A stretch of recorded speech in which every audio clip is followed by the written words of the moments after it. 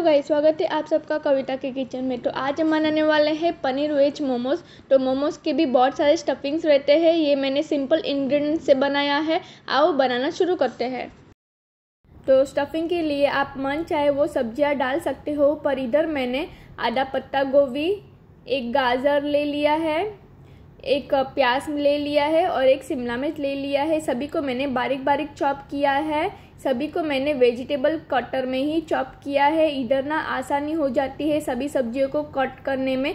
आप हाथों से भी कर सकते हो। उसके साथ मैंने 100 ग्राम पनीर ले लिया है और अदरक मिर्ची का पेस्ट ले लिया तो मैंने कढ़ाई में एक टेबलस्पून ऑयल ले लिया है। इधर ज़्यादा ऑयल नहीं लगेगा। उधर सबसे पहले हम आधा चम्मच हींग डालेंगे। उसके बाद अदरक मिर्ची का पेस्ट डाल देंगे। अच्छे से मिक्स कर लेंगे सभी को, उसके बाद हम डालेंगे हमारा बारीक बारीक चॉप किया हुआ सभी वेजिस आप वेजिस को कम ज़्यादा कर सकते हो। वेजिस को अभी हमें स्लो फ्लेम में ही पकाना है।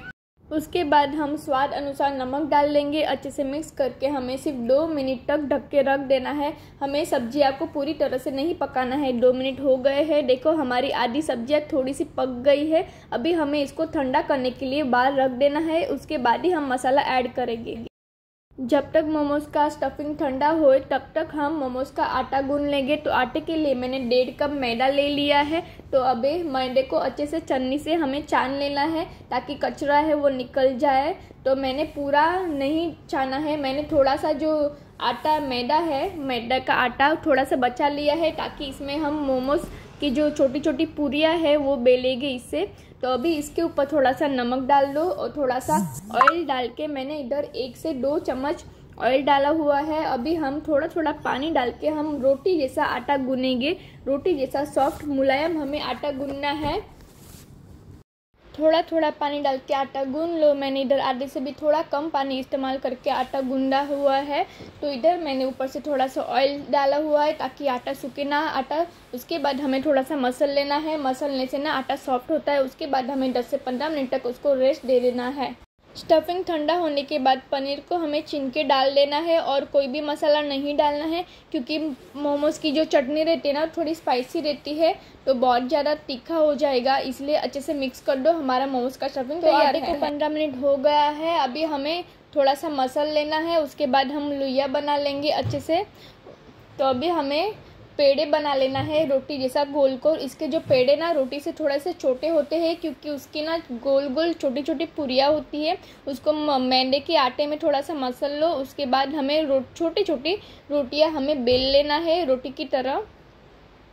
हमें ज़्यादा झाड़ा नहीं और ज़्यादा पतला नहीं, हमें रोटी की तरह गोल गोल शेप में बेल लेना है। उसके बाद मैं इधर एक चम्मच स्टफिंग डाल रही हूँ। हमें जो अभी अभी प्रिपेयर किया हुआ है, उसके बाद हमें मोमोज जैसा जिगजैग वाला शेप बनाना है। देखो, ऐसे धीरे धीरे हमें बनाना है।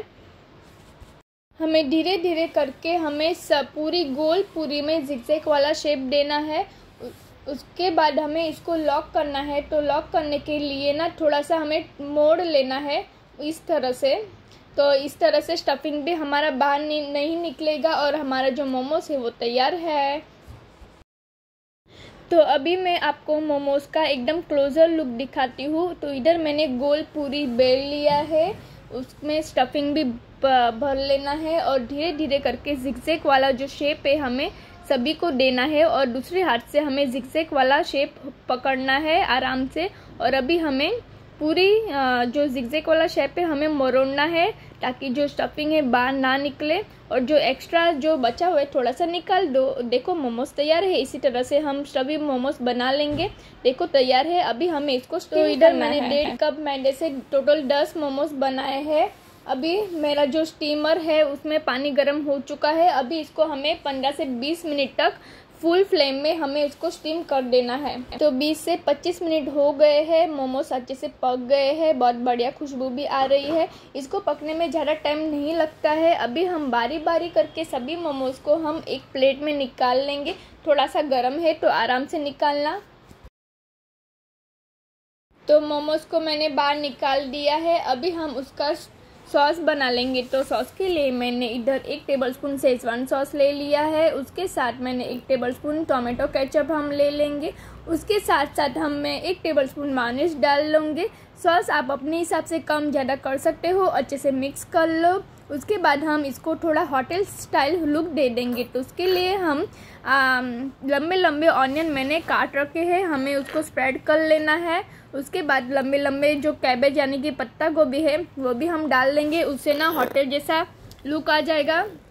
और अगर आपको थोड़ा तीखा पसंद हो तो उसके ऊपर से थोड़ा सेजवान चटनी डाल दो देखो सेम होटल जैसा लुक है बहुत ही बढ़िया लग रहा है।